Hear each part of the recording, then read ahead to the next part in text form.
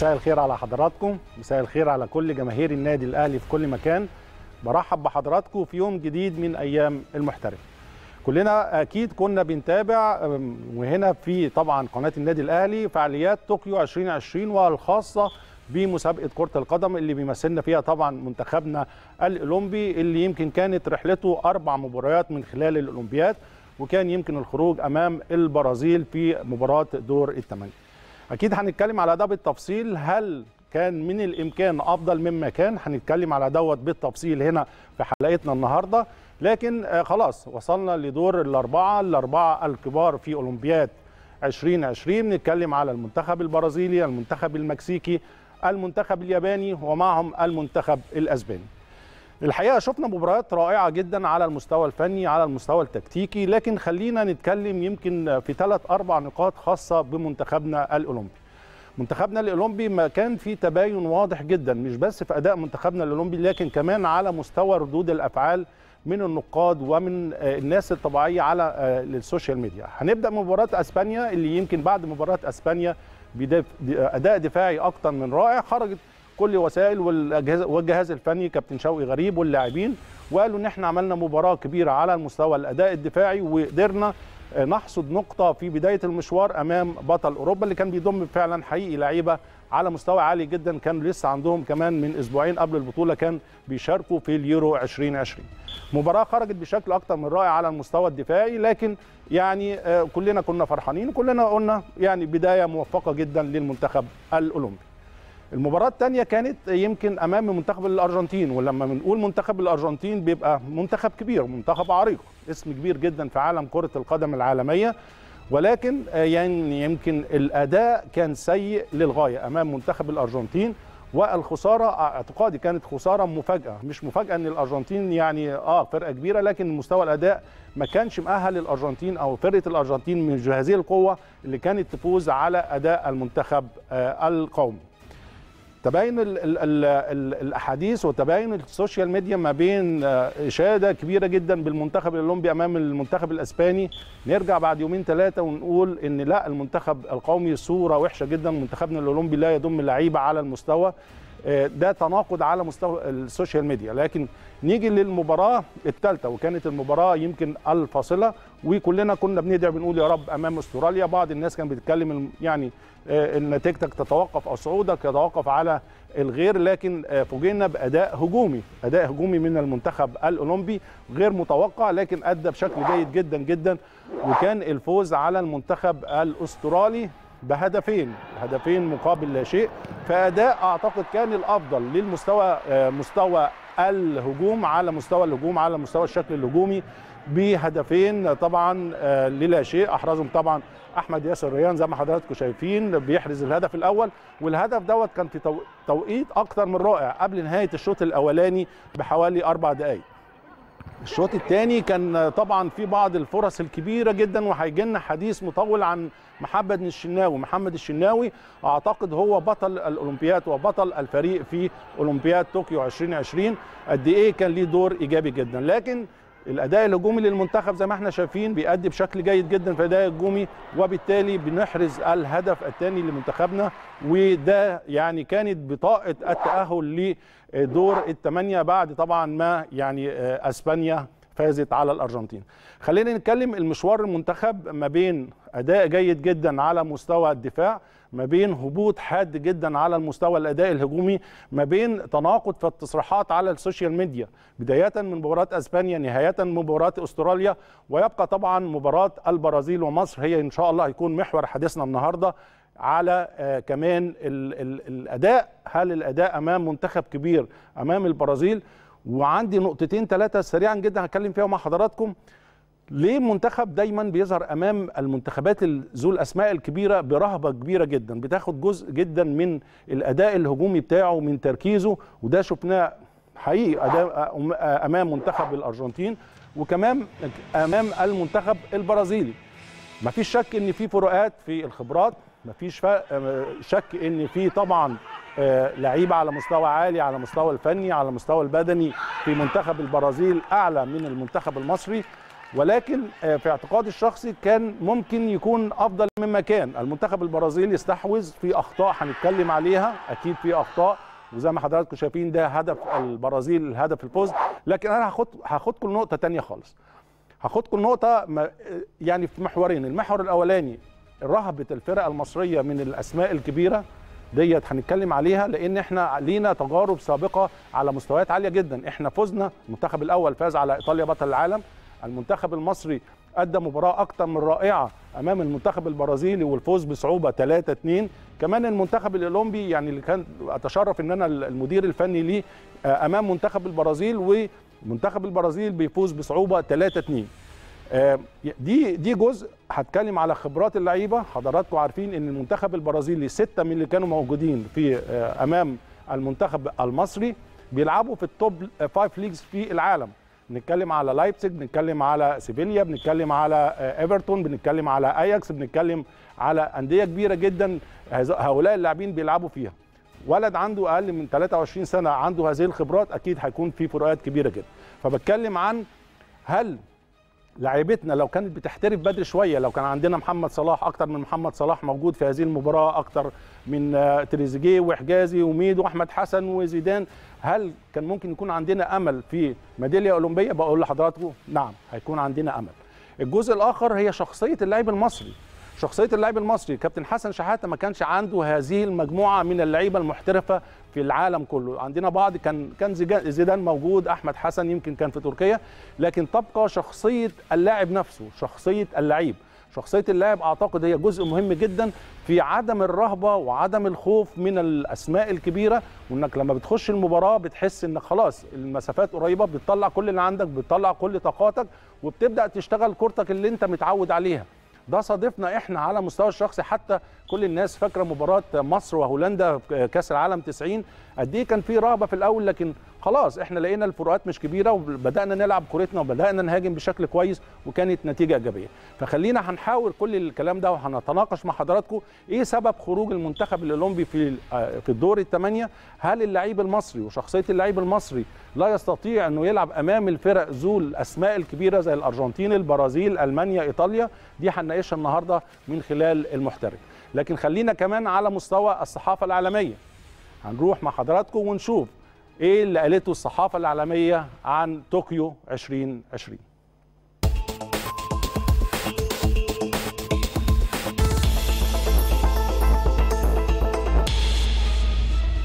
هنبدأ جولتنا في الصحافة صحيفة العالمية مع ساو باولو طبعا البرازيلية اللي ركزت على تأهل المنتخب الأولمبي البرازيلي أمام المنتخب المصري لمباراة نصف النهائي في طوكيو 2020 ومواجهة المنتخب الياباني. صحيفة كتبت البرازيل تصطاد اليابان في نصف نهائي منافسات أولمبياد طوكيو 2020 يوم الأربع المقبل. طبعا مباراة هتكون على المستوى الفني أعتقد مباراة كبيرة جدا جدا. اليابان صاحبة الأرض أمام البرازيل المرشح بقوة للفوز بهذه البطولة. لسه مع صحف البرازيلية وصحيفة تيبارو كتبت بنصف هدف ونصف هدف آخر يصل البرازيل وتفوز البرازيل على مصر وتضمن التواجد للمنافسة على ميدالية أولمبية. نروح من الصحافة البرازيلية نروح لصحف المكسيك اللي يمكن سلطت أيضا الضوء كذلك على إنجاز منتخب بلادها الأولمبي منتخب المكسيك والتأهل لنصف نهائي المنافسات في طوكيو 2020 وكتبت صحيفة اوفا فازت المكسيك على كوريا الجنوبية لمواجهة أسبانيا في نصف النهائي. أضافت نفس الصحيفة وقالت المكسيك ومواجهة على المحك مع البرازيل طبعا في إشارة ليها لوصول المنتخب المكسيكي والمنتخب البرازيلي للمباراه النهائية. ويمكن كمان يعني ما حدش عارف في الكورة ممكن كمان يتقابلوا على مستوى المركز الثالث والرابع. يعني خلينا نتكلم لسه في المكسيك وتحديدا صحيفة السيخالو المكسيكية. اللي كتبت. المكسيك تفوز على كوريا الجنوبية وتبلغ نصف النهائي الثالث في تاريخ منافسات كرة القدم في الأولمبياد. كل الاهتمام كمان في المكسيك بتواجه زي ما حضراتكم عارفين المنتخب الياباني وبالتأكيد هتكون مباراة مش هقول مباراة سهلة مباراة صعبة للفرقتين ولكن يبقى المنتخب المكسيكي شفناه أداء أكتر من رائع وأهداف كتيرة جدا جدا والملاحظ كمان في الكرة المكسيكية كرة أمريكا الجنوبية تعتمد زي كلنا عارفين على مستوى الأداء الهجومي والمتعة في الأداء الهجومي. المدرسة اليابانية أو كوريا الجنوبية تمتاز بالالتزام الشديد جدا من النواحي التكتيكية من مستوى اللاعبين يمكن بيقل فيها المهارات الفردية شوية على المستوى الفريق. لكن تبقى مباراة أعتقد مباراة صعبة. دايما مباراة نصف النهائي مباريات على مستوى عالي جدا جدا. المكسيك طبعا أمام اليابان. مباراة صعبة وهناك كمان مباراة أصعب ما بين البرازيل وأسبانيا. خلينا نروح لفاصل ونرجع مع حضراتكم وفقره الفقرة الثانية من المحترف. أهلا بحضراتكم مرة ثانية في المحترف. برحب بحضراتكم وبرحب برحب بضيفنا النهارده في المحترف طبعا الأستاذ إيهاب الجنيدي الناقد الرياضي. هنتكلم معاه عن رؤيته رؤيته للمنتخب الأولمبي خلال مشوار طوكيو 2020 إيه الإيجابيات اللي ممكن نطلع بيها من هذا يعني من هذا التواجد في الأولمبياد؟ وإيه السلبيات اللي ممكن في المستقبل؟ وده اللي دايما بنتكلم عليه بعد كل تجربة لازم نقيم التجربة بشكل بشكل علمي. كل تجربة بيمر بيها منتخبنا سواء المنتخب الأول أو المنتخب الأولمبي لازم يكون في تصحيح للأخطاء لأن لازم نتعلم الدروس اللي فاتت ولازم ناخد من ال ال يعني من ال الخبرات المتراكمة بالنسبة للاعبتنا ولازم نحط طريق واضح. ده اللي هنتكلم النهارده فيه مع طبعا ضيفنا إيهاب الجنيدي إيهاب أهلا بيك برحب بيك. و زي ما انت شفت يمكن في ال intro ايهاب كنا بنتكلم على مشوار المنتخب الاولمبي في طوكيو 2020 وأنا اتكلمت عن نقطتين احب اخد رأيك فيهم. هل الخروج نتيجة فعلا الفوارق الطبيعية ما بين المنتخبات المنتخب المصري أكيد منتخب قوي ولكن الفروقات ما بين تمثيلنا على المستوى الأفريقي ونيجي في البطولات العالمية بيكون في جاب كبير بيننا وما بين الكرة العالمية هل يتوقف على موضوع الاحتراف؟ هل يتوقف ده على شخصية اللعيب المصري نفسه اللي هو يمكن عنده رهبة شوية وعنده خوف من الأسماء العالمية الكبيرة. برحب بيك طبعا يا كابتن هاني وكل جماهير النادي الأهلي وسعيد بتواجدي معاك. آه مبدئيا المنتخب المصري هو الناس زعلانة أكتر يا كابتن مش من الخروج. عادي من الطبيعي ممكن تخرج قدام البرازيل تخسر 1-0 والنتيجة مش كبيرة. 1-0 نتيجة عادية في كرة القدم والناس. ولكن أنت ما أديتش. المنتخب المصري ظهر في المباراة أمام البرازيل منتخب بلا هوية. هو ده المهم.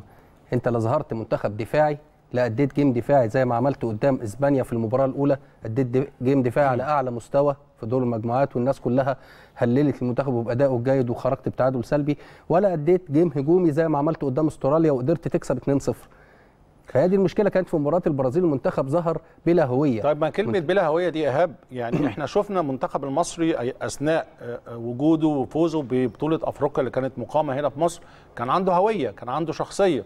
إيه كانت شخصيته؟ بيلعب كورة هجومية بشكل كويس جدا عنده عناصر هجومية بشكل كويس جدا. إيه الفرق بين تمثيلنا؟ ده اللي بتكلم عليه إنك بتلعب قدام الفرق الأفريقية أو العربية بشكل بشكل أكتر من رائع وتيجي أمام الفرق العالمية وحتى لو كانت الفرق العالمية دون المستوى على على على سبيل المثال الأرجنتين مش هي الأرجنتين يعني مش منتخب قوي بهذه القوة. إيه أنت شايف التباين في الأداء ده جاي إيه ال إيه, إيه أسبابه يعني؟ لأن لعيبة مصر لعبت أمام أسماء. لعبت بالاسم. أنا بلاعب الارجنتين يا منتخب الأرجنتين منتخب البرازيل. دون النظر للفريق اللي قدامك بيأدي إزاي؟ الفريق اللي قدامك إحنا أسهل مباراة أضعناها مننا أسهل من مباراة أستراليا في اعتقادي هي مباراة الأرجنتين. صحيح. كانت مباراة سهلة جدا. كنت تخرج منها فائز كنت تتصدر المجموعة تواجه منتخب غير منتخب البرازيل طبعا اللي واجهه أسبانيا منتخب كوديفوار اللي أنت قدرت تتغلب عليه هنا في نهائي البطولة الأفريقية. مزبوط. كان زمانك متواجد في المربع الذهبي بسهولة. ولكن إحنا خدنا المباراة أدي الفرق. أنت بتلعب أفريقيا يا كابتن انت السيد المتوج ليها. افريقيا والدول العربية بتخوض المباراة. المنتخب اهم حاجة العقلية قبل ما تخوض المباراة. اللعيب نازل واثق ان لا أنا اعلى من دول أنا أقدر اكسب أنا أقدر ادي وأعمل مباراة كبيرة. عكس ما بياخد مباراة قدام البرازيل وقدام الأرجنتين. ودي هنا الدور النفسي المهم جدا للجهاز الفني. أنا بحمل النقطة دي والمسؤولية هنا للجهاز الفني للفريق. ودي موجودة في كل فرق العالم وحضرتك عارف وخط التجربة الاحترافية العامل النفسي. اللي بيبقى موجود فيه ليه طبيب نفسي في معظم الفرق. انت بتلاعب فرقة زيك 11 لاعب قدام 11 لاعب في الملعب.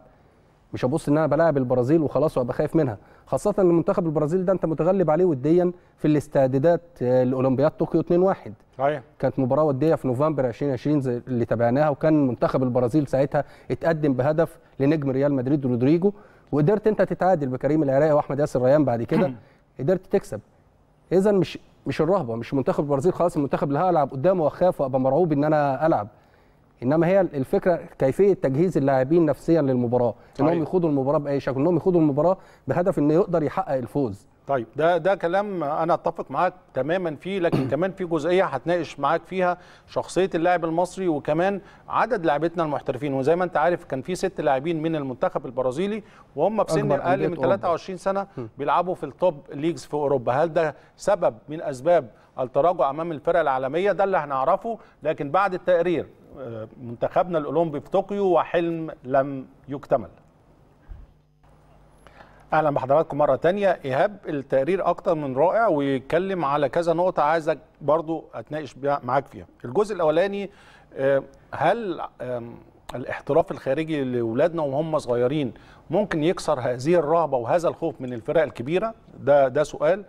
وهل كمان شخصيه اللاعب المصري لما بتتبني من الأساس هل لازم يكون بنشتغل إن آه في فروقات على مستوى الخبرات لكن اللعيب المصري قادر على إنه يوصل لأعلى يعني شايفين طبعا أكبر مثال لينا محمد صلاح. وبالتالي نبدأ كمان نشتغل في العامل النفسي شوية إن نربي اولادنا إن أنت عندك قدراتك والقدرات دي ممكن تنافس بيها الأبطال. إيه رأيك في النقطتين دول؟ وتكلمنا عليهم من وجهة نظرك الشخصية. طيب نبدأ من النقطة الثانية.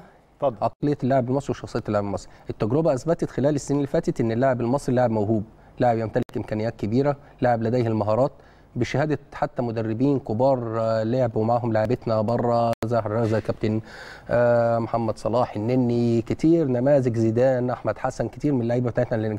فالعقلية الاحترافية عند اللاعب المصري وعقلية لاعب كرة القدم عقلية موجودة في عقلية جيدة في موهبة موجودة عند اللاعب المصري ناقص إن اللاعب المصري ينمي الحتة دي ينمي عنده حتة إن اللاعب إزاي يبقى لاعب محترف هي ينفذ تعليم الاحتراف هي. المنتاليتي الشخصية نفسها اللي هو ال ال ال اولا لازم الإيمان بالنفس دي مهم جدا انك قادر إنك تشتغل ودي نقطة مهمة جدا يعني كمان محمد صلاح اتكلم عليها إنك تشتغل على نفسك إن إحنا بنتكلم على النواحي الفنية إحنا عندنا مهارات وعندنا نجوم وعندنا إمكانيات كبيرة جدا من النواحي النفسية. نيجي عند المشكلة الأساسية اللاعب المصري بتتكلم على على المنتاليتي بتتكلم على بتتكلم على الالتزام بتتكلم على المصابرة على الصبر على إنك تكافح لسنين طويلة بتتكلم على الثبات في المستوى لمدة طويلة. كل دوت انت شايف ان دوت آه، يعني لازم نشتغل عليه الفترة الجاية عايزين نشوف حلول. إيه؟ بالظبط يا كابتن. هي دي النقطة المهمة إنك إزاي تشتغل على نفسك اللاعب المصري إن إحنا زي ما قلنا الموهبة موجودة. إزاي ننمي دي؟ أنا دايما بقول إن يعني دايما في مقارناتي لما بتكلم بقول إن ميسي موهبة. ولكن أنا معجب شخصيا كشخص برونالدو لأن أنا في اعتقادي إن ميسي موهبة ربانية. بيشتغل على نفسه بس ما اشتغلش على نفسه الشغل اللي عمله رونالدو على نفسه. رونالدو لاعب يشتغل على نفسه لغاية ما وصل لأنه بقى number 1 في العالم مع ميسي برغم إنه لا يمتلك الموهبة الربانية الفذة اللي موجودة عند ميسي. الموهبة الطبيعية اللي موجودة بين أقدام ميسي دي هي مش عند رونالدو ولكن رونالدو هي دي العقلية. رونالدو لاعب بيشتغل على نفسه استمرار تدريب باستمرار. الأحاديث اللي بيشوفها في اللي بتشوفها عنه تسمعها في الكلام زمايله في الصحف العالمية إيه اللي بيقولوه؟ بيته يا كابتن مركز تدريب بيته نفسه مركز صحيح. تدريب. أنا بتكلم و- دلوقتي ال ال الولاد اللي مثلونا في طوكيو 2020 خلينا نتكلم بلغة المستقبل شوية. دايما بعد كل بطولة بيبقى في انتقادات كبيرة. لو خرجنا يعني الخروج من دور الثمانيه يعني كنا نتمنى إن إحنا نوصل طبعا للدور قبل النهائي. لكن خلينا نتكلم على المستقبل يا إيهاب. إيه اللي أنت شايفه إن إحنا في وقت مش هقول لك وقت قصير لكن في وقت مقبول إن إحنا لا يبقى عندنا فريق آه، أولمبي على مستوى عالي جدا. ينافس على ميدالية أولمبية. لازم قرارات جذرية يا كابتن نشتغل عليها اهتمام بالنشء توسيع قاعدة الناشئين بشكل كبير في الأندية مش اهتمام بس بالفريق الأول كل اهتمامنا منصب في مصر على الفريق أهلي وزمالك ومنتخب أول وكله الفريق الأول. لازم مسابقات الناشئين نهتم بيها بشكل أكبر توسيع قاعدة الناشئين لازم فتح باب الاحتراف برافو زي ما بنشوف. كده أمام اللاعبين المصريين في الصغر. إحنا شفنا منتخب البرازيل في ست لاعبين بيلعبوا ما بين لايبزيج هيرتا برلين في الدوري الألماني ودوري أسباني ودوري إنجليزي دوريات كبيرة في جدا. طبعا. ماشي. هداف أسبانيا الراجل آه، رافا فينيستي ده رافائيل فينيستي أو رافا فينيستي لاعب بيلعب في وولفرهامبتون. الإنجليزي هو لاعب صغير في السن. ودلوقتي بقى عليه صراع حاليا بين كبار أندية أسبانيا أتلتيكو مدريد كلهم بيتكلموا عليه. فلازم إحنا الخطوة الأولى قدامنا زي ما شفنا التطور في السنين اللي فاتت دي اللي عمله محمد صلاح ومحمد النني والطفرة اللي عملوها حتى في أداء تريزيجيه طبعا. وتريزيجيه طبعا محمود حسن تريزيجيه وسلسلة لاعبين اللي موجودين بره وأحمد المحمدي من سنين طويلة وغيرهم. وقبليهم أجيال تانية. لازم إحنا يعني إيه يا كابتن إن إحنا يبقى عندنا دايما مصر لو جبت كده الخريطة بتاعت الدول اللي عندها عدد لاعبين محترفين الأفارقة في العالم هتلاقي مصر في مركزها متأخرة في مرتبة متأخرة جدا.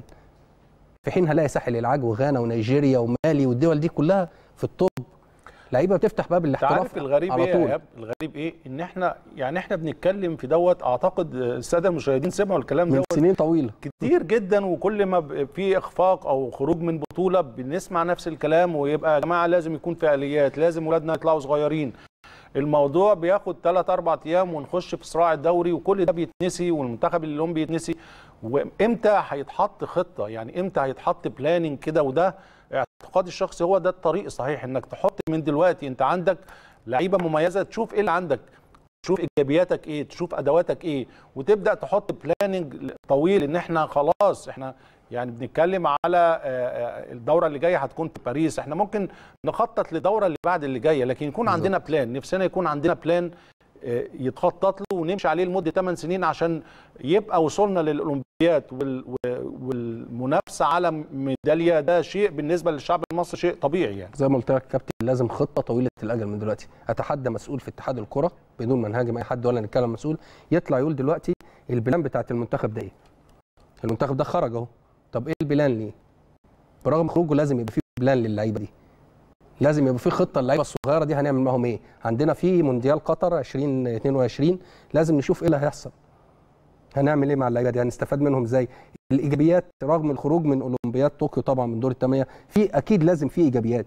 عارف الصورة كمان مش إيه المفروض تماماً. يا إيهاب؟ إن كمان إحنا آه المنتخب الأولمبي بيوصل لمرحلة خلاص دول نواة المنتخب الأول وأكيد في عناصر كتيرة جدا هتكون آه، آه، مستقبلها مع المنتخب الأول. لكن محدش فكر في الاولمبياد اللي جاية هي الفرقة مين اللي هيمثلها. ده منتخب الشباب المتواجد دلوقتي إن لازم الفرقة دي تتعدي بشكل أكتر من رائع وناخد كمان منتخب الناشئين اللي هيبقى لسه موجود إن أنت تفكر خلال 12 سنة جايين أو 16 سنة جايين ال- الفريق ده هي- فهو ده اللي بنتكلم عليه إحنا بنتكلم على آه، أجيال كتيرة جدا بتتواصل ما بنستفدش منها يعني ما بنستفدش. منها على المستوى العالمي إن شاء الله بإذن الله يعني آه، يعني نتمنى اللي إحنا بنقوله ده يتنفذ في كابتن هي التنظيم يعني. أنت المنتخب البرازيلي والمنتخب الألماني عندنا مثال بالذات المنتخب صحيح. الألماني التنظيم اللي عنده المنتخب الفرنسي أنا دلوقتي ممكن أطلع لك من موقع الاتحاد مباريات ودية للفرقة في ثلاث سنين جايين. فرقة الشباب فرقة الناشئين. ده بلان إن أنا بحضر اللعيبة دي. أنا بحضر عندي الناشئين بحضرهم يبقوا منتخب شباب. المنتخب الشباب بحضره منتخب أولمبي. ده بيسلم ده وده كله فيه خطة متكاملة وخطة بيشرف عليها الاتحاد. ليه؟ لأن هو ده المستقبل في النهايه بيصب في المنتخب الأول للفرقة دي. صحيح. يكون منتخب عالمي قوي. بنشوف منتخب ألمانيا بنشوف منتخب فرنسا منتخب البرازيل منتخب قادر ينافس وبينافس على أي بطولة يخش فيها سواء في القارة بتاعته أو في كأس العالم. ده من خلال إيه؟ من خلال البدء من أول منتخب عندهم منتخب الناشئين. وهم بيبصوا لمنتخب الناشئين بيبقى في عينيهم المنتخب الأول. صحيح. أنا المنتخب ده بحضره من دلوقتي ده في وقت بعد كام سنة هيبقى المنتخب الأول بتاعي. يبقى لازم ليه خطة شاملة وكاملة. طبعا. طبعا بجانب الخطة الشاملة والكاملة وأملنا إن شاء الله إن يكون لمصر بلاننج طويل كده ونشوف منتخباتنا يعني بتلاعب وبتفوز بالميداليات وبتوصل لأعلى آه، يعني المراكز على مستوى الكرة العالمية. عندنا لسه مشوار طويل جدا لكن نطلع لفاصل ونرجع مرة تانية مع المحترف. أهلا بحضراتكم مرة تانية. برحب بحضراتكم برحب بيك مرة تانية إيهاب الجنيدي الناقد الرياضي. آه، إيهاب تعالى أنا وأنت نستعرض كده مشوار منتخبنا الأولمبي في رحلة طوكيو 2020 وخلينا نبدأ بما انتهينا منه مع مباراة البرازيل. آه، كلنا تابعنا المباراة وكلنا كان عندنا أمال كبيرة جدا. خلينا أسألك كان عندك أمل إن ممكن نحقق المفاجأة ونفوز على البرازيل؟ آه كان عندي أمل. كان عندك أمل. خاصة بناء على نتائج سابقة نتائج منتخب مصر حتى أولمبي ومنتخب أول عبر التاريخ مع البرازيل إحنا بنعمل ماتشات كبيرة مع البرازيل. يعني حتى في أولمبياد آه، 2012 لما حضرتك كنت مشرف على المنتخب إحنا خسرنا 3-2 بصعوبة. وعملنا جيم عالي جدا بعد ما كنا متأخرين 3-0 قدرنا. نجيب جونين. آه، المنتخب الأول في كأس القارات والماتش التاريخي مع البرازيل. آه وديا قبل البطولة كسبانين البرازيل 2-1 يعني إذا ما المانع؟ أنا دايما أنا ببص لها دايما في 11 لاعب في الملعب أمام 11 لاعب خاصة في المراحل الأولى دي كمان. لسه اللاعب الأوروبي أو اللاعب البرازيلي ما راحش الأندية الأوروبية الكبيرة ما وصلش بقى في ال top آه، games مع ريال مدريد صحيح. مع برشلونة مع كذا.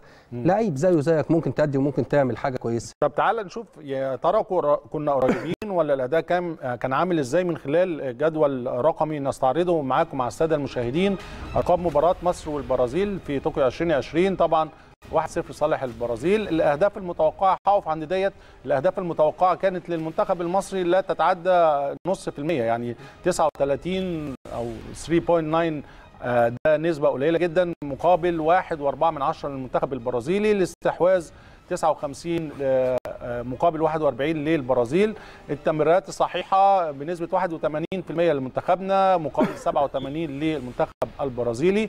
التصويب على المرمى لينا 8 تصويبات آه، ما بينهم يعني ما بين الثمانية في ثلاثة ما بين القائمة والعارضة. المنتخب البرازيلي 13 تسديدة منهم 6 ما بين القائم والعارضة. العرضيات تسع عرضيات للمنتخب المصري 15 للبرازيل. والركنيات ركنية وحيدة لمصر مقابل أربع ركنيات لمنتخب البرازيلي هقف عند العرضيات. يعني دايما خلينا نتكلم العرضيات بالنسبة للمنتخب المصري وكلنا عارفين إن طريقة لعب الكابتن شوقي غريب الاعتماد بشكل كبير جدا على العراقي وبنتكلم على فتوح وعرضيات المفروض تبقى عرضيات مكثفة. آه، شفت أداء الفني إزاي على مستوى على مستوى الخطة على مستوى ال- الفورميشن بتاع الكابتن شوقي غريب. بص يا كابتن اولا أنا حاطط نقط في الأرقام دي عندي ثلاث نقط معينين زي ما حضرتك قلت طبعا العرضيات. أول نقطة وقفت عندها زي ما حضرتك قلت 0.39 39% اللي هي فرصة هدف نسبة قليلة جدا قصاد واحد ونص هدف للبرازيل طبعا في الهجمات. طيب معلش يا إيهاب هنكمل معاك في النقطة دي عشان في كلام كمان هناقشك فيه لكن نطلع فاصل سريع ونرجع مع حضراتكم مرة تانية في المحترف. أهلا بحضراتكم مرة تانية في المحترف. إيهاب كنا بنتكلم قبل الفاصل على يمكن أرقام منتخبنا في أمام منتخب البرازيلي وكان كنت متوقف على بعض النقاط خاصة بالكرات العرضية. يعني إحنا كان في كرات عرضية رقم لا بأس به لكن أنت كنت بتقول لي يعني غير آه. مؤثرة بالمرة يعني. أنا شا يعني تسع عرضيات ل 15 برازيل ممكن الرقم بتاعنا عالي شوية. أو يعني هنقول ع- عدد معقول ولكن هي عرضيات أنا بسميها عرضيات خادعة في المباراة دي لكل من شاهد المباراة لأنها عرضيات عشوائية لم تصنع خطورة. إحنا ما شفناش خطورة يعني خلال 90 دقيقة على مرمى البرازيل باستثناء تقريبا الكرة الهيدر اللي عملها أكرم توفيق ومرت جنب القائم. باستثناء كده مفيش أي أي خطورة للمنتخب مصر على مدار 90 دقيقة. زي ما قلت لحضرتك يا كابتن مفيش شكل هجومي. طيب هل في مقابل ده كان في شكل دفاعي؟ هو ده السؤال.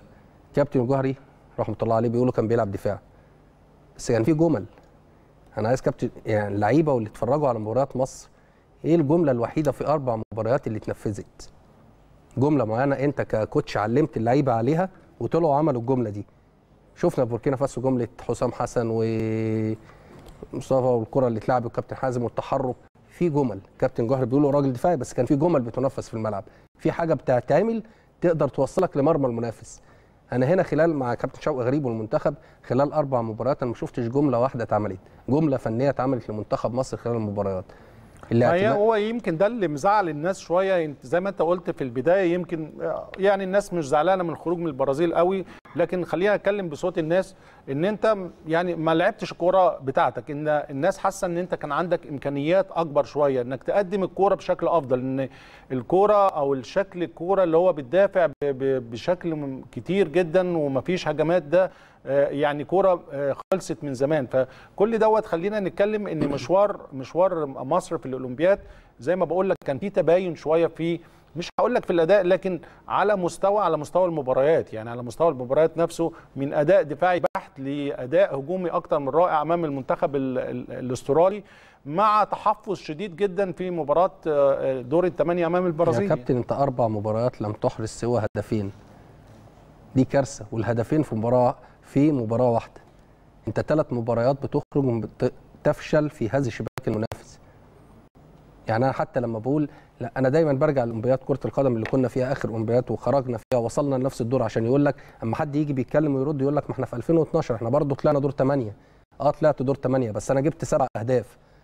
أنا لعبت أربع مباريات جايب سبع أهداف. في الدور الأول مسجل سبع أهداف في الأولمبياد. في شغل بعمله. في أداء بيتقدم في أرض الملعب. إنما ان أنا في خلال أربع مباريات أجيب هدفين بس بواقع نصف هدف في المباراة يبقى ده أداء آه، مش مقبول تماما. ثلاث مباريات منهم ما سجلتش فيهم يا كابتن. أنت صحيح. عندك هنا الهجمات شفت التمريرات. أنت عندك 355 تمريرة في المباراة. بص الناحية الثانية في 602 تمريرة.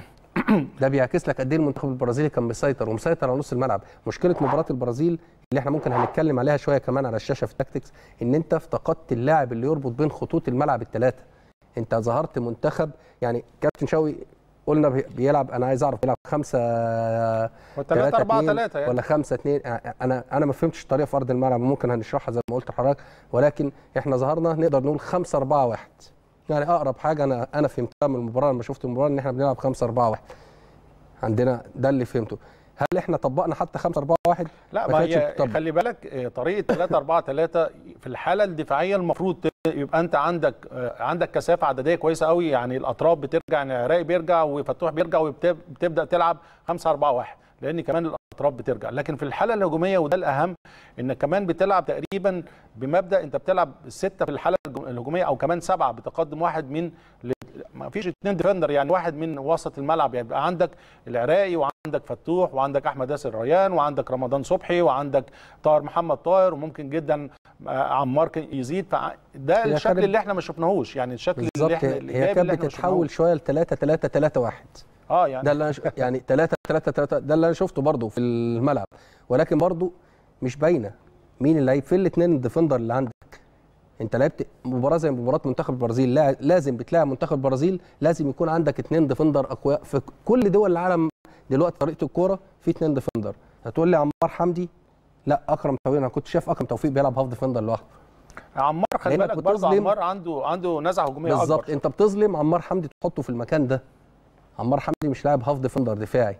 لا ده لعيب عنده نزعة هجومية لعيب ممكن يمرر لك كرة حلوة تجيب جون لعيب ممكن يجيب جون بدليل إن الهدفين الوحيدين اللي أنت سجلتهم في البطوله هو جايب جون منهم هو لعيب ميوله هجومية أكتر. طب في ناس تانية بتقول آه، يعني كان ممكن يبقى حتى المجازفة في آخر ربع ساعة في المباراة ده خلاص يعني النتيجة كانت 1-0 آه، كان في بعض الناس على المستوى الخططي بتقول إن إحنا آه، ما كانش لازم إن إحنا نلعب بثلاثة ورا كان ممكن الاستغناء مثلا على آه، أسامة جلال والدفع بمهاجم, أو لعيب عنده نزعة هجومية وتلعب بالطريقة العادية. ممكن تلعب تلعب 4 3 3 بشكل بشكل معتاد. ده برضو أنت كنت شايفه إزاي؟ هل كان في صعوبة في تغيير خطة اللعب داخل الملعب؟ وهل كابتن شوقي ما حضرش نفسه في الجزئية دي كان دايما بيلعب 3 4 3 يمكن في يمكن مباراة يمكن المباراه أعتقد أسبانيا أو مباراة آه، أستراليا كان في تغيير شوية. لكن هل أنت مع تغيير طريقة اللعب من خلال المباراة؟ يا كابتن كان لازم يتغير ويتغير بدري. أنا منتخب دلوقتي خسران تقريبا من الشوط الأول. تمام؟ دلوقتي لازم أنا أغير الطريقة بتاعتي وألعب هجومي. أنا ليه بلعب بالثلاثه اللي ورا؟ هي هي وجنبيهم اثنين أطراف. وبعدين أنا عندي زي ما حضرتك تابعت في المباراة يا كابتن في عندي جبهة كاملة أنا بعتبرها جبهة ميتة في المباراة. جابها ميتة. جبهة ميتة هجوميا ودفاعيا. ولازم المدير الفني يبقى قاعد بره شايف الكلام ده ويتكلم فيه. أنت عندك جبهة كريم العراقي وقدامه طاهر محمد طاهر جبهة على الصعيد الهجومي والدفاعي ما قامتش بدورها. صحيح. تقريبا كان منتخب مصر كل ما بنشوف بيهاجم من الناحية الثانية كل الخطورة من الناحية الثانية وكل التمريرات للناحية الثانية الناحية اليمنى عندنا. فدي جبهه قدامي. انت جاي تغير إحنا شفنا التغييرات. جاي تغير في الدقيقة كام؟ أول تغيير طبعا عمله التغيير اللي نزل فيه صلاح محسن نزل مكان مين؟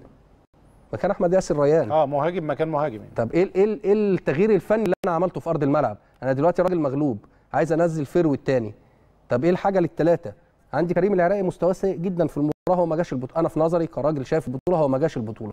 ماشي؟ عندي الونش وحجازي وأسامة جلال. طب ما أنا أسحب أسامة جلال ناحية كريم العراقي؟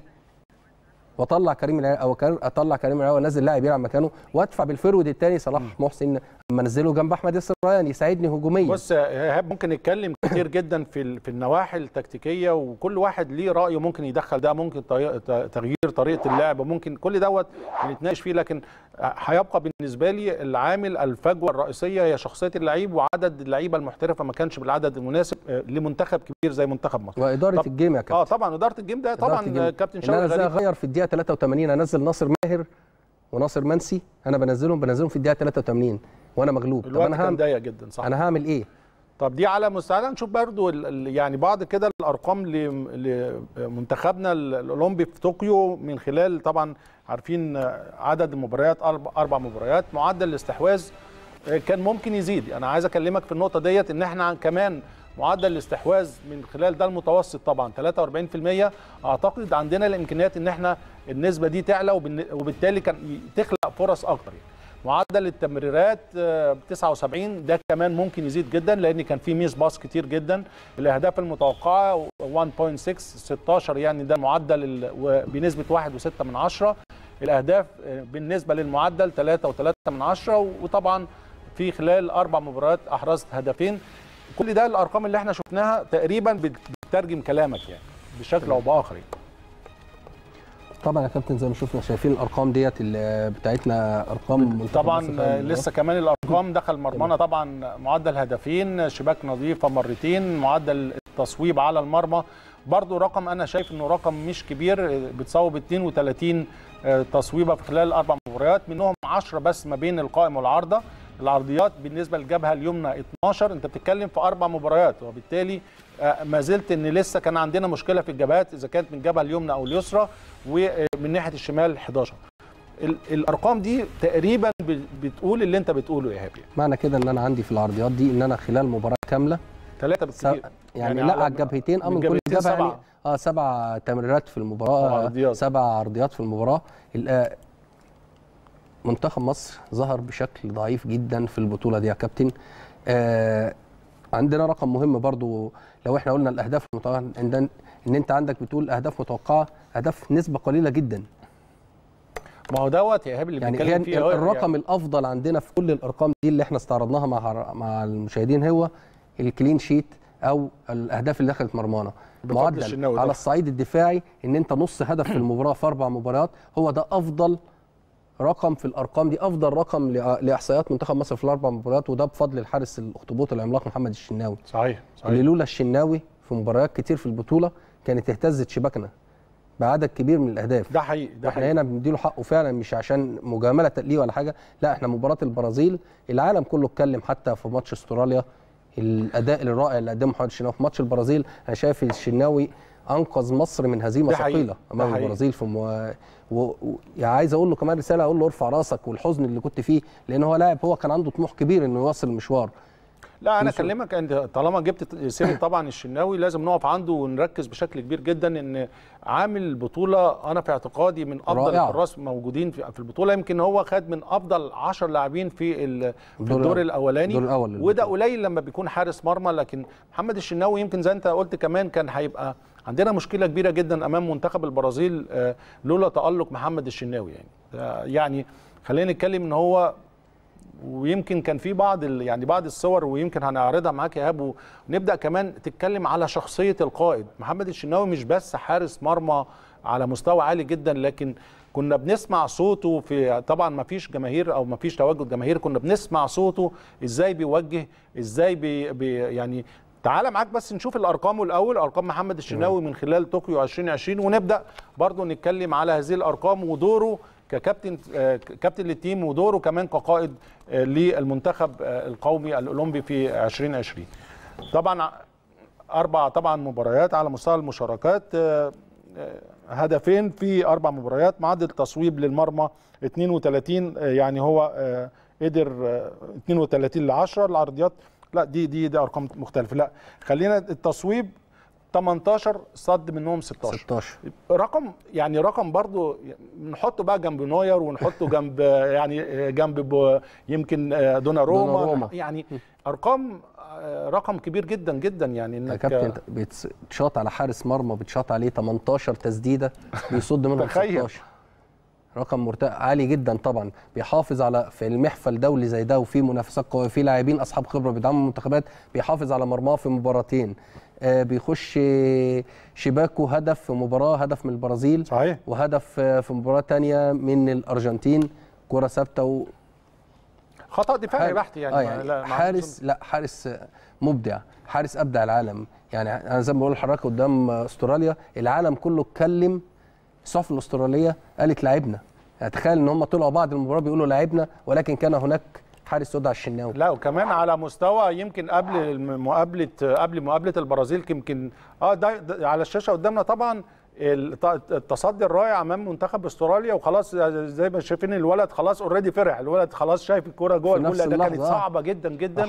آه وبالتالي آه، ردة حط إيده على راسه. ردة فعل رائعة طبعا من الشناوي صعبة جدا جدا.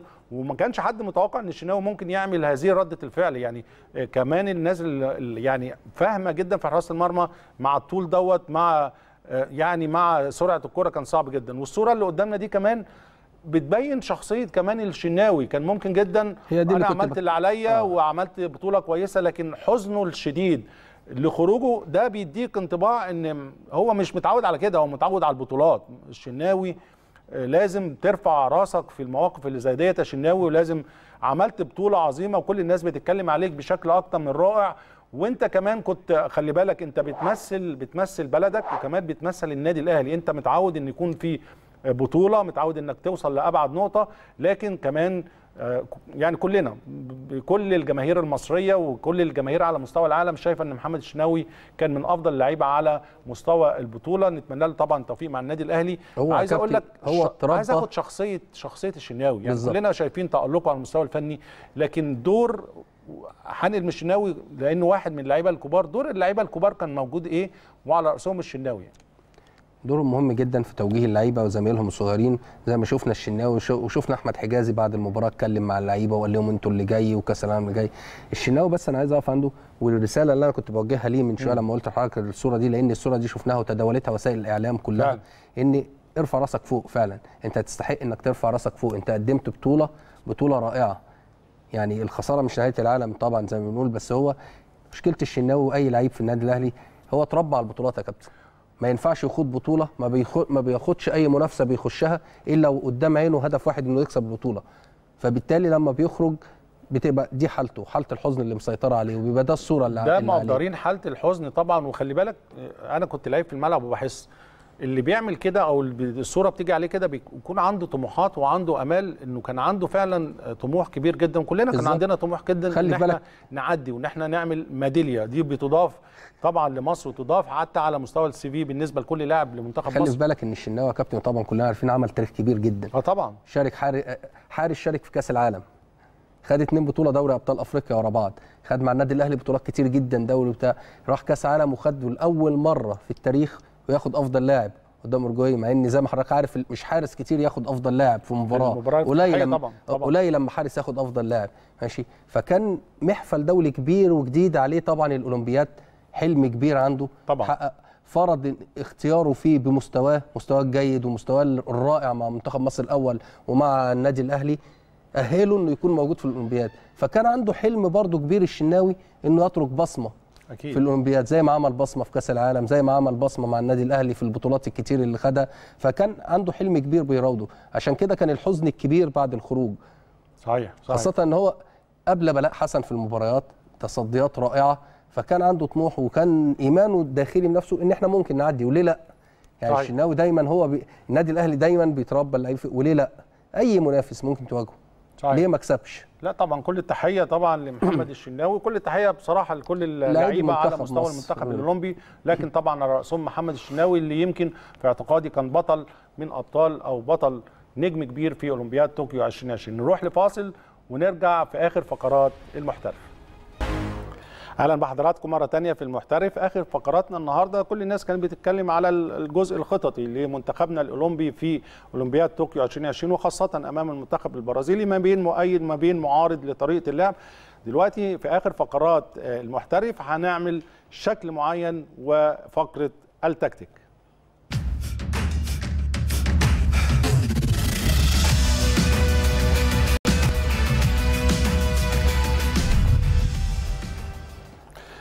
طبعا إيهاب آه، زي ما بقول كل الناس كان عندها يمكن شوية ملاحظات فنية لمنتخب مصر. خلينا نبدأ بالأول التشكيلة تشكيلة منتخب تمام. مصر أمام المنتخب البرازيلي. وأنت كان عندك تعليق شوية في عملية التشكيل أو شكل التشكيل كان ممكن يختلف أثناء المباراة. إحنا بدأنا طبعا آه، طبيعي جدا بثلاثه أربعة ثلاثة يعني كريم العراقي هو بيتقدم في الجزء دوت آه، فتوح بيتقدم في الجزء الشمال. بنتكلم على ثلاثة حجازي أسامة والونش قدامهم أربعة العراقي أكرم عمار حمدي وفتوح وثلاثة في القدام ما بين طاهر محمد طاهر رمضان صبحي وأحمد ياسر ريان. دي التشكيلة. كان وجهة نظرك أو وجهة نظر ناس آه، تانية إن في وقت من الأوقات كان لازم تتغير طريقة اللعب شوية ويبقى عندنا آه، لاعب آه، لاعب وسط playmaker عشان يقدر يوصل الكورة للجزء. خلي بالك إحنا بنتكلم إن فتوح كان على المفروض إنه كان على طول بيطير مع الجزء ده وكريم العراقي اللي أنت يمكن كان عندك بعض التحفظات على أدائه في المباراة دي أنا يا كابتن حتى ما شفتش إن إحنا لعبنا 3 4 3 يعني أنا شايف إن إحنا لعبنا 5 4 1 أغلب فترات المباراة. آه يعني 5 4 1 آه يعني كان يعني- أنت بتتكلم آه. على إن فتوح كان بيرجع كريم كان العراقي بيرجع. رمضان صبحي كمان بيرجع. و آه آه، بنلعب رمضان وطاهر كمان. كل اللعيبة بتاعتنا راجعة للدفاع. ما كانش فيه لعيب وأحمد ياسر ريان أحمد ياسر ريان هيلاقي العرضيات منين يعني؟ حتى هيلاقي الدعم الهجومي ليه أنا إنه أنا يحرز أنا, أهداف أنا منين. الفكرة نفسها لو بتقدم بشكل كويس كان المفروض لو إحنا مثلا بنهاجم من ناحية الشمال يبقى فتوح يوصل للجزء دوت. رمضان صبحي يكمل لجوه. بالظبط. طاهر محمد طاهر يضم يخش هنا. وكريم العراقي يجي هنا في المنطقة دي. دايما يبقى واصل للجزء ده. ولازم واحد من الاثنين أكرم توفيق أو عمار حمدي يكون مأمن في الحتة ديت. فيبقى يكون عندك شكل شكل مباشر بتهاجم. ست لعيبة مع بالظبط كريم. العراقي مع فتوح وعمار حمدي كمان يزيد وعندك أكرم توفيق يحط آه، يعني الستاره مع طبعا هيبقى موجود الونش هنا وهيكون أسامة جلال هنا وأحمد حجازي موجود فعندك كنت ممكن تلعب بشكل هجومي حتى لو بتلعب 3 4 3 لكن عدم وجود العراقي بشكل مميز أو ما فيش كرات عرضية إن طاهر محمد طاهر كان كمان بيطلع على الطرف وبالتالي ما فيش حتة في العمق هنا أحمد أو فتوح ما كانش بيوصل فدي يعني إحنا انفصلنا في المنطقة دي هجوميا خالص يا كابتن. يعني فتوح راجع ورا زي ما هو في مكانه كريم العراقي راجع ورا جدا طاهر ورمضان كانوا بيقفوا في المنطقتين دول يعني رمضان زي ما حضرتك بتقول المفروض يكمل هنا وطاهر. يكمل هنا صحيح. كانوا راجعين هنا صحيح. وبالتالي أحمد- أغلب الفترات كان أحمد ياسر ريان لوحده في المنطقة دي مش لاقي أي دعم هجومي عمار حمدي تائه في الملعب لأنه مش أنت حاطه half defender المفروض مع الاثنين دول كان يتحط half defender وتسيبه هو تسيبه هو لعيب حر يعمل لك سنة صحيح. أنت الكابتن آه، شوقي لما قال إن أنا لما حتى سألوه على محمد عبد أحمد عبد القادر أفضل لاعب تقريبا شاب في الدوري في مركز آه، playmaker قال إن أنا عندي اللعيب اللي معايا واللي مكمل وشغال اللي هو ناصر ماهر صحيح. طب فين ناصر ماهر دفع طبعا ده على 83. المستوى على مستوى تعالى تعالى أنا وأنت بس برضو مع السادة المشاهدين نشوف الهدف الهدف اللي دخل فينا أو آه، هدف البرازيل في آه، منتخب مصر وكان في مشكلة هنوضحها على الشاشة من الاثنين. ال defender إحنا. قلنا لازم. يكون في اثنين defender عندهم أداء دفاعي بحت وكان عندنا مشكلة بصراحة عند ناحية اليمين عند كريم العراقي. تعال نبص الأول صورة للهدف لمنتخب البرازيل امام منتخبنا الأولمبي. ونبدأ نتكلم لأن الصورة كانت بتحكي بشكل مباشر قد إيه كان في خلل شوية من ناحية كريم العراقي. كان في خلل من خلال الدور ال- ال- الدفاعي اللي آه، طبعا آه، بتتكلم على عمار. دي أول صورة بنتكلم إن طبيعي جدا إن منتخب البرازيل هو قطع الكرة في الجزء ده. عندنا أكرم توفيق موجود بشكل كويس عندنا أسامة جلال.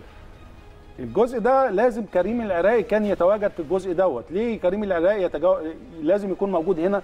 لأن أنت مش عايز تخلق مساحات وبالتالي هيبقى سهل جدا جدا إن يكون آه، الترحيل بشكل أفضل لكن تأخر العراقي كان بداية برضو المشكلة إن إحنا عندنا مشكلة. طبعا الونش وحجازي كانوا واقفين بشكل كويس. آه، اضطر طبعا أسامة جلال إنه يميل شوية لكن على الشكل الدفاعي قبل طبعا الكرة ما توصل لقدام كان في عندنا مشكلة. في هنا لفتة حاجة لفتها كده بص عمار فين؟ عمار آه طبعا ده عمار كمان. فين؟ آه عمار بعيد. اللي إحنا بنتكلم. فيه. المفروض إن عمار half defender هنا. يعني المفروض هنا كان- جنب أكرم. صحيح. المفروض هنا جنب أكرم. الارتداد كان يبقى أسرع عمار هنا يا كابتن فين؟ الارتداد يبقى أسرع شوية. الهجومية اللي إحنا قلنا عليها. برضه صحيح، هنا صحيح. كريم العراقي ما قامش بالارتداد بتاعه وده اللي انتبه ليه مدرب البرازيل. صحيح. شافها شافها حضرتك تلاحظ خلال المباراة كان ريتشاردسون بيلعب في نص في قلب منطقة الجزاء. مظبوط. رمى الناحية بتاعت كريم العراقي. صحيح. استغل التقدم كريم العراقي وسرحانه. مظبوط. احترامي أنا بقول سرحانه طوال المباراة. والهدف جه بالطريقة دي. هي كمان- الصورة الجاية هنوضح كمان آه. الهدف هنا. كمان ال ال ال الصورة واضحة جدا جدا إن في هنا ثلاثة على واحد ومساحة فاضية جدا في الجزء ده اللي كان لازم يتواجد فيه عمار. عمار آه حمدي نتيجة إن أكرم تو... أكرم. توفيق لم هنا. لم عشان يغطي تقدم كريم العراقي. كريم أو العراقي ما جزء تاني. صحيح. أو جزء تمام. تاني إن إحنا شايفين أكرم توفيق واقف في الجزء دوت والجزء ده فاضي. كان ممكن جدا لو العراقي موجود أو يكون في تحرر في الحتة دي إن لازم يكون المنطقة دي تتغطى. آه، ال- الجزء دوت كان فيه مشكلة شوية. بص يا كابتن بعد التمريره فاضية. بعد التمريرة المتقنة للبرازيل هنا اللي جت لريتشاردسون إيه اللي حصل؟ أكرم توفيق على طول اتقدم من الناحيه دي قطع عشان يقفل عليه. الناحية الثانية أسامة جلال ساب القلب قلب الدفاع في منطقة الجزاء وبرضه لازم يرحل كان آه لازم رحل يرحل. عشان يقفل عليه. بالظبط. المشكلة دي كلها عملها كريم العراقي إنه كان قدام وكمان خلينا نتكلم في في الوقت اللي اتقدم فيه أكرم هنا كمان عمار حمدي. أهو ده أيوه. عمار حمدي ده لازم يكون الطبيعي جدا على كديفندر هنا. لازم يكون موجود هنا. موجود على الدايرة هنا. بالظبط. موجود هو عشان يغطي إن أكرم توفيق إن دخل أكرم توفيق دخل في المنطقة دي عشان يغطي على ريتشاردسون ويساعد قلب الدفاع كان لازم على طول الارتداد السريع لأكرم لعمار حمدي يكون حمدي. موجود في. المنطقة دي بالظبط. ويقوم بواجبات ال half defender.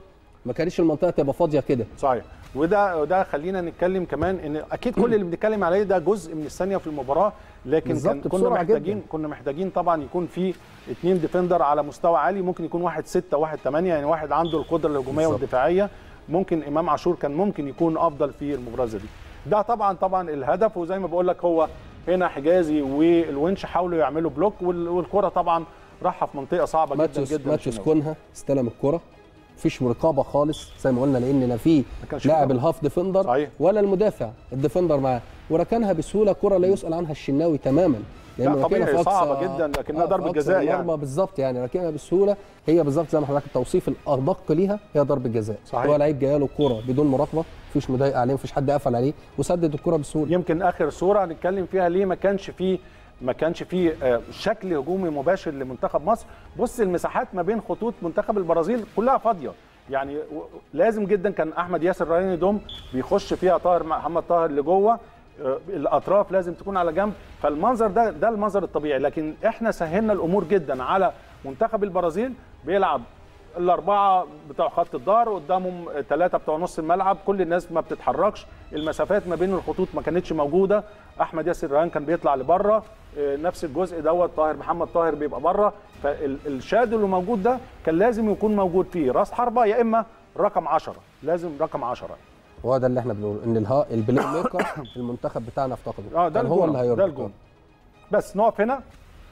في اللحظة اللي اتلعبت فيه الكورة أعتقد كان يبقى لازم يكون موجود فيه defender الموضوع كان صعب جدا على ال على ال على محمد الشناوي لكن الجزء إن الكرة اتلعبت من الجزء دوت في مساحة فاضية هو ده كان مشكلتنا اللي لازم كان يكون في ارتداد سريع جدا من عمار حمدي لازم يكون في ضغط أكتر حتى على مستوى ال block. بنتكلم على حجازي وعلى آه، على الونش إن يكون خطوة لقدام أكتر شوية. يا كابتن هو لعيبة النص كشفتهم يعني. حجازي والونش بقوا مكشوفين.